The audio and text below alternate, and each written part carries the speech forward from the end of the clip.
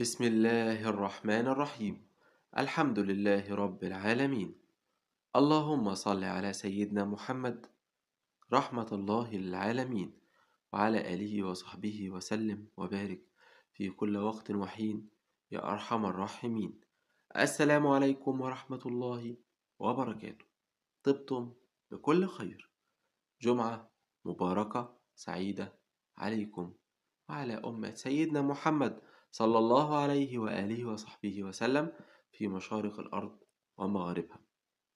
بإذن الله أوصيكم ونفسي بكثرة الصلاة والسلام على خير الأنام. سيدنا محمد صلى الله عليه وسلم حيث قال أكثروا من الصلاة والسلام عليه في ليلة الجمعة ويوم الجمعة فإن صلاتكم معروضة علي. وقال صلى الله عليه وسلم أكثروا من الصلاة والسلام علي في الليلة الغراء واليوم الأزهر فإنني أسمع الصلاة بأذني وأرد السلام بلساني. وقال صلى الله عليه وسلم ما من أحد يسلم علي إلا رد الله علي روحي حتى أرد السلام عليه. وقال صلى الله عليه وآله وصحبه وسلم من صلى علي في ليلة الجمعة أو قال في يوم الجمعة قضى الله من صلى علي مئة مرة يعني في ليلة الجمعة أو يوم الجمعة قضى الله له مئة حاجة ثلاثون من حوائج الدنيا. وسبعين من حوائج الآخرة أو كما قال صلى الله عليه وآله وصحبه وسلم. ومع سورة السجدة وسرها الخطير والعجيب والعظيم والرائع سرها في شهر رمضان المبارك في الجمعة الثالثة من شهر رمضان وأيضا لها سر عظيم في أي يوم آخر بخلاف شهر رمضان. سرها دائم. يعني الفيديو ده اللي يشوف أي وقت من حياته يطبقه. دائم. في رمضان وفي غير رمضان بإذن الله سبحانه وتعالى. آه عشان تسمع أخبار سعيدة. اللي يقرأها بهذه الطريقة إن شاء الله بإذن الله ربنا يكرمه بأخبار سعيدة من أول يوم. بإذن الله. ويرزقنا الله بمال كثير ورزق وفير من أول يوم بإذن الله بإذن الله بإذن الله. وأن يرزقنا الله سبحانه وتعالى برزق ومال من حيث لا نحتسب وأن يأتينا المال والرزق من كل مكان حتى باب منزلنا يأتينا حتى باب المنزل بأمر الله وبإذن الله لمن وثق في الله طبعا أن, بإن أن الله على كل شيء قدير. أن ربنا يفتح لنا جميع أبواب الرزق بكل أنواعها قلب المال قلب الرزق الواسع من خزائن الله الواسعة من أول يوم وكل يوم بدون كد أو تعب أو نصب بإذن الله بإذن الله. يعني ملك هيكتر. آه بإذن الله كمان وإن شاء الله بإذن الله تدوم علينا النعم ونشكر الله عليها ونال المعجزات والفتوحات وكمان إن شاء الله ننال الزواج السريع العاجل والثراء والغنى والوفرة والوظيفة والسفر والحمل والنجاح والتفوق. في جميع المراحل التعليمية والدراسية بأعلى الدرجات والتقديرات. وكمان بإذن الله عشان نحصل بسر سورة السجدة على قلب الحبيب قلب الزوج قلب الخطيب قلب الغائب بما يرضي الله وبما يرضي رسول الله سيدنا محمد صلى الله عليه وسلم وأن نسترد الحقوق والأموال المسلوبة والحقوق المسلوبة والأموال المسلوبة والأموال المنهوبة وأن يسهل الله لنا بيع المنزل أو السكن المملوك لنا وأن يسهل الله لنا شراء منزل جديد حتى لو كنا فقراء وأن يسهل لنا سداد الديون مهما كانت كالجبال وأن يرزقنا الله بسر سورة السجدة تسخير كل شيء في الكون لقضاء حوائجنا وتسهيل أي أمر عسير ويرزقنا الله النصر على الأعداء والظالمين في جميع أنحاء العالم وينصرنا الله نصرا سريعا عاجلا. ويرزقنا تحقيق ما نظنه مستحيلا لأي أمر في حياتنا من أول يوم بإذن الله رب العالمين. إن شاء الله بإذن الله هنقرأ سورة السجدة بطريقة بسيطة جدا وسهلة جدا وهي بعد صلاة ركعتين بإذن الواحد الأحد. ونحن في اتجاه القبلة. ننوي النية أننا سنقرأ سورة السجدة لكل ما ذكرته من قليل منذ قليل وأكثر كمان.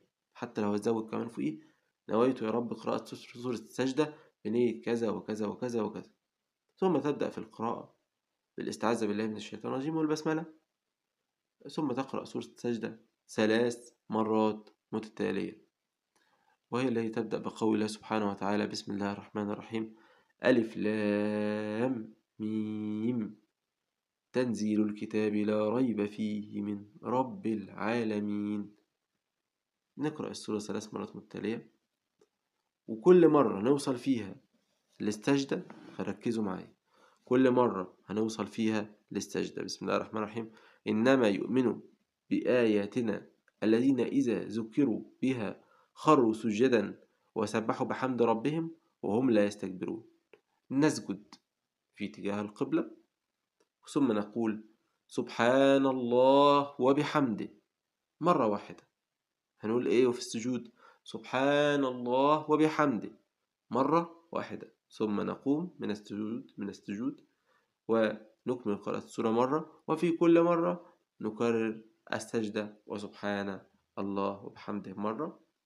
وهكذا في الثلاث مرات. وبعد الانتهاء من قراءة سورة السجدة بإذن الله. يعني وصلنا لنهاية السورة عند الآية الأخيرة بإذن الله سبحانه وتعالى. فأعرض عنهم وانتظر إنهم آه، منتظرون. الآية رقم ثلاثين. آه، بعدها مباشرة نستغفر الله سبحانه وتعالى. بإذن الله سبحانه وتعالى نستغفر الله. أستغفر الله العظيم سبعين مرة. أستغفر الله العظيم بعد نهاية السورة هنا. أستغفر الله العظيم سبعين مرة. ثم الصلاة على الحبيب المصطفى سيدنا محمد صلى الله عليه وسلم سبعين مرة. اللهم صل على سيدنا محمد وعلى آله وصحبه وسلم.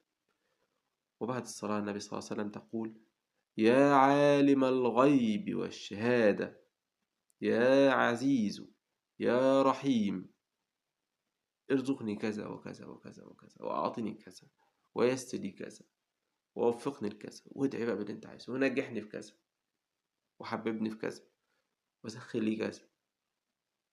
يا عالم الغيب والشهادة يا عزيز يا رحيم أعطني كذا وأعطني كذا وأعطني كذا وأعطني كذا تمام؟ يعني بسأل ربنا سبحانه وتعالى يعطيني من فضله. آه وبختم بالصلاة على النبي صلى الله عليه وسلم سبع مرات. وصلى على النبي عليه الصلاة والسلام إيه؟ سبع مرات متتالية.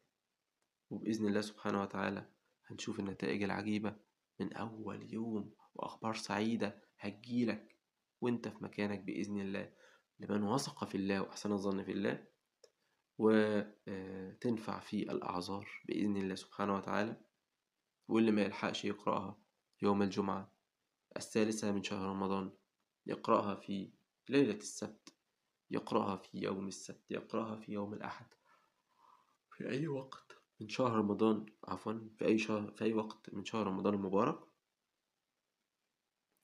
آه بإذن الله واللي عايز بإذن الله يقرأها في أي يوم من العمر يقرأها وهي مدتها يوم واحد واللي عايز يستمر عليها يستمر عليها كل يوم لو هو عايز واللي عايز يعملها يوم الجمعة يعملها يوم الجمعة مرة واحدة في الأسبوع كل جمعة إن شاء الله بإذن الله والكل هيدعيلي والكل هيفرحني إن شاء الله بإذن الله وأسأل الله سبحانه وتعالى لكم السعادة والفرح والهناء وراحة القلب والبال وصوم مقبولا وإفطارا شهيا والسلام عليكم ورحمة الله وبركاته.